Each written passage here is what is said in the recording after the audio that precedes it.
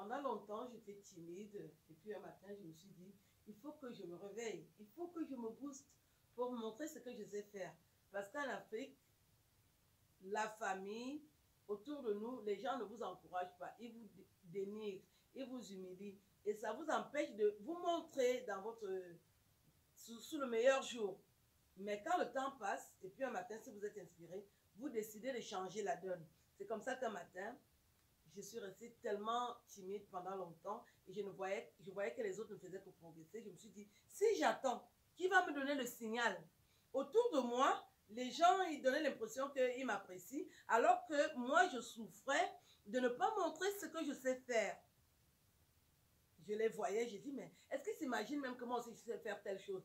Personne ne m'a jamais appelé que viens, on collabore, viens, on participe, viens participer à tel projet. Parce qu'en Afrique, les gens n'ont pas l'esprit d'initiative. Les gens ne savent pas qu'il faut collaborer pour une Afrique meilleure.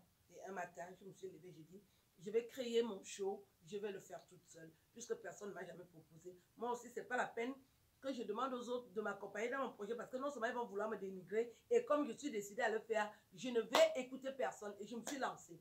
Ça fait dix ans, moi le bilan il est positif, moi au moins, j'ai montré ce que je sais faire. Les critiques des, personnes inutiles, moi je gère pas ça parce que c'est ça qui tue l'Africain en fait.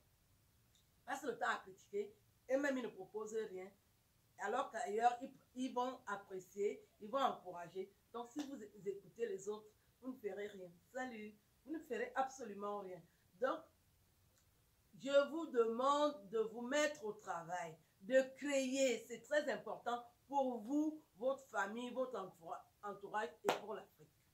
Si vous attendez des choses des autres, vous ne les aurez jamais et vous allez mourir aigri, perturbé, voilà mettez-vous au travail, ne vous laissez pas battre par les critiques, les colibets, parce qu'ils n'ont que ça à faire et eux-mêmes, on ne voit pas ce qu'ils valent de mieux.